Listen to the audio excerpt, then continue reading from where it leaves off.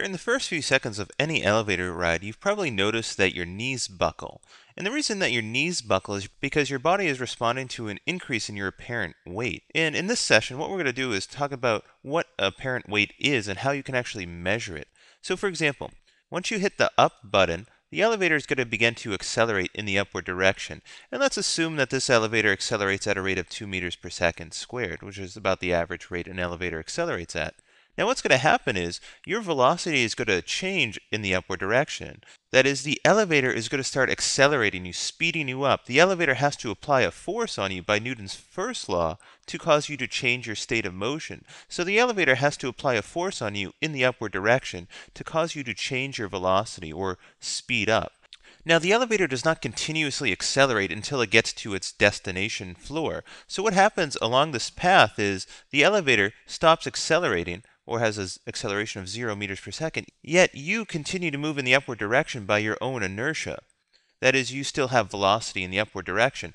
And then the elevator begins to slow down or decelerate as it approaches your destination floor. And in this case, let's assume that acceleration is negative 2 meters per second per second. Yet, even though the elevator is slowing down, you still have velocity in the upward direction. All right, so now notice a few things I didn't specify in the beginning. We're going to use the upward direction as our positive y-axis. So you're going to be first accelerating in the upward direction in the positive y direction, and then once you start approaching your destination floor, the elevator is going to start slowing down, and your velocity is still going to be in the upward direction, which I'll indicate with a vector pointing in the upward or positive y direction. Now in this problem, what I want to do first is examine this case down here. Why does your weight appear to increase? And we're going to apply Newton's second law to figure that out. And to make this calculation, let's assume that if you were to step on your bathroom scale, so you're far away from any elevator and you just step on a bathroom scale, you have a weight or you record or measure your weight as 180 pounds. Now, if you were to use this relationship that says weight equals mass times the gravitational acceleration, you'd be able to first convert this over to newtons, which works out to be 801 newtons, and then you'd be able to plug this value into this uh, relationship, and you would be able to figure out that your mass is equal to 81.7 kilograms. And we did this out in another video, if you need to reference that video again to see how this calculation was performed. But we're going to use this mass, the mass of a person with a weight of 180 pounds, to try to figure out how much their weight appears to increase as the elevator applies a force and accelerates them. So remember, forces cause objects to speed up, that is, accelerate, change their state of motion. All right, so the first thing that you need to do to start solving this problem is draw a free body diagram. Now I'm going to represent the this person in the elevator as this dot to draw, to draw a free body diagram. Now there are two forces acting on this person. This person is here on Earth, so gravity is pulling them towards the Earth, or in the downward direction, and we'll call that weight due to gravity. And then the and then the elevator has to apply a force in the upward direction. Literally, the elevator has to push them in the upward direction to change their velocity, to accelerate them. And off to the side, I'm just going to draw an acceleration vector to indicate the direction in which this person is going to be accelerated by an outside force. So there's going to be this net force pushing them in the upward direction, which we can call F net. And to give you an indication of what this force would look like, if I were to draw these vectors side by side, that is not in a free body diagram, but just do some vector addition, if this is my normal force vector, and if I draw the tail of the weight force vector right alongside of it, the net force would be the vector that goes from this point to this point. So this would be the net force acting on this person as they're accelerated. This is the force that the elevator has to push up on this person to cause them to change their state of motion. And in this case, this is going to equal to the product mass times acceleration. So now I'm going to use Newton's second law to figure out what the net force acting on this person is. So recall that Newton's second law says that if you add up the forces acting on a person, it's going to equal the mass of the person times the acceleration of the person. Now in this case, there are two forces acting on this person. There's the normal force, which is pushing this person in the upward direction. That's the elevator pushing this person in the upward direction. And the weight force, which I subtract because the weight force is in the downward direction. This is going to equal the product mass times acceleration. Now this term right here, this normal force, this term right here, which the normal force, this is what we can call the apparent weight. This is how much eh, you appear to weigh as you're accelerated by the elevator, that is, as the elevator pushes on you. This is sometimes just called the gravitational weight. Usually, when we're not thinking about what happens when you're accelerated by an outside force, we usually just call this the weight. But in this case, I want to distinguish apparent weight from gravitational weight because apparent weight is how much you appear to weigh as you're accelerated by an outside force. In this MA term, this mass times acceleration term represents the force required to change your state of motion. So this is the magnitude of the force of the force required to change your state of motion.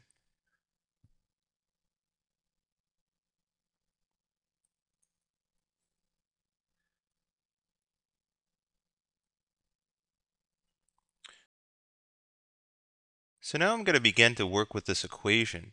And so to begin, I'm just going to rewrite this equation as the normal force minus the weight equals ma, mass times acceleration. Now I'm trying to solve this equation for the normal force because I want to find the apparent weight of this person. That is, person in this elevator, we're standing on a scale, this normal force would represent the number or the weight represented on that scale. So I'm going to solve this equation for this value.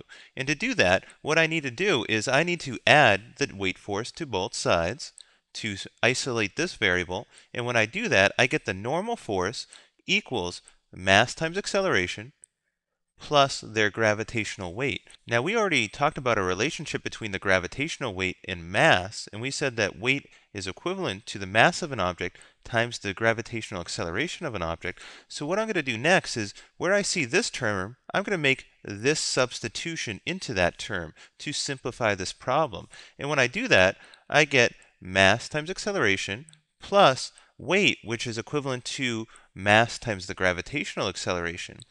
And now, in this case, I have a common term. There's a mass term in both one of these products, so I'm going to factor that term out. And when you do that, you get mass times acceleration plus the gravitational acceleration.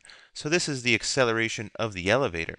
And again, this equals the normal force. In this equation, which I just derived, tells me what the weight of this person appears to be as they're accelerated by an outside force. So now let's figure out the magnitude of this force. And to do that, all we're going to do is we're going to plug in the values that we know. So in this case, we said the mass of this person was 81.7 kilograms. We said that the elevator began to accelerate at a rate of 2 meters per second per second or 2 meters per second squared. We know the gravitational acceleration here on Earth is 9.8 meters per second squared. And so now what you're going to do is you're going to begin to simplify this to calculate the normal force. So this is again going to be 81.7 kilograms times 2 plus 9.8 is 11.8 meters per second squared. And when you do this number out, when you multiply 81.7 kilograms times 11.8 meters per second, you get a value of 964 newtons. Remember, a kilogram times a meter per second squared is a unit of a newton. And this is how much you appear to weigh as the elevator accelerates you. So to get an idea of how great this force actually is, let's just convert this over to units of pounds. So 964 newtons. And what you're going to do is you're going to convert that over to pounds. So you know 4.45 newtons is equivalent to one pound. And notice this unit of Newton cancels out with this unit of Newton. And when you do that, you should get a value of 216.6 pounds. So your weight appears to increase dramatically, and that's why your knees buckle because your body is responding to this apparent increase in weight. Now, to figure out how much your weight appears to increase, that is, give it some actual value, you know that your weight has increased or your apparent weight has increased to 216 pounds. When you're not being accelerated by an outside force, you normally weigh 180 pounds. And the difference in these two forces is how much your weight appears to increase. And in this case, this works out to be 36.6 pounds. So while that elevator is accelerating you, your weight appears to increase by 36.6 pounds. And that's why your knees buckle because your body is not prepared to respond to a sudden increase in 36.6 pounds.